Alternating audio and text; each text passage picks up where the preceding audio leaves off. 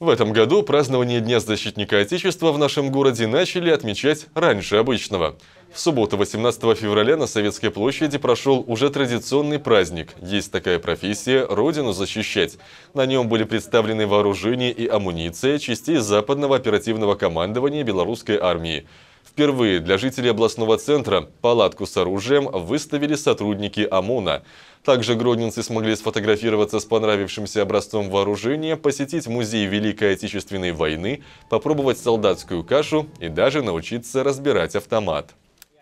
Праздник интересный, понятный, потому что действительно есть такая профессия – Родину защищать. А мы каждый стоим на защите нашей любимой Беларуси. Праздник прошел в рамках мероприятия выходного дня. Стоит отметить, что гродненцам пришлась по душе идея еженедельных культурно-массовых мероприятий в Гродно.